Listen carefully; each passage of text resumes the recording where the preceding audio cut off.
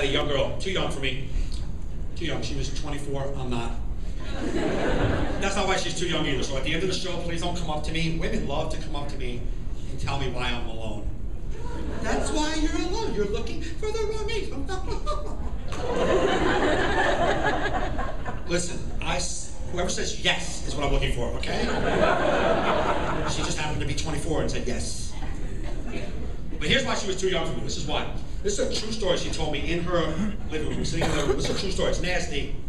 Suck it up. Right, act mature. Like it, she told me the story, and when you hear it, you're gonna want to know that I wanted to say some shit and I didn't, because I'm a professional, and she was smoking hot, and I want to ruin it. So I kind of just took it. This is a story. Swear to God, she goes.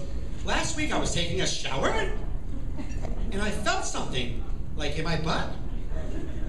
And I was like, stop the story, stop the story. No more story, no more story. She goes, shut up. I felt something in my butt, and I pulled out a tapeworm. Yeah, yeah, you don't think I wanted to go?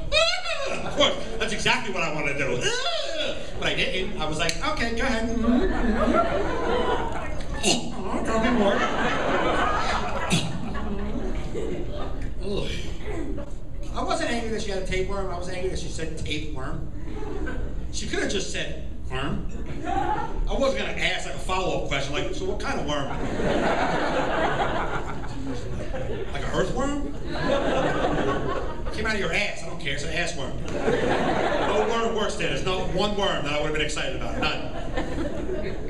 Maybe a gummy worm. Maybe a gummy worm. That would be nice. I love gummy worms.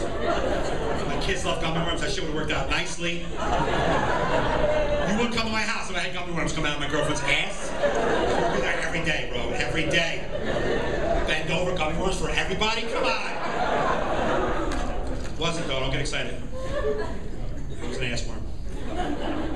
Here's how I knew I was too old for it. The very first question out of my mouth was, what did the doctor say? Right? Because you went to, even if you have other shit to do, you probably rearrange your calendar, right? Like, I was gonna go to the post office, but I probably should figure out what the hell's going on in my ass. You know, then I'll mail the letter.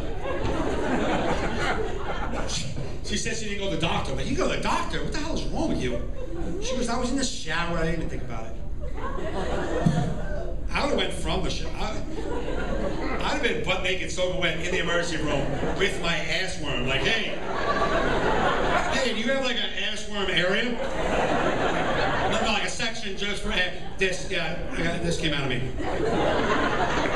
So you're naked. Yeah, you're not focusing. That came out of my ass. Am I going to the right? Which way am I heading?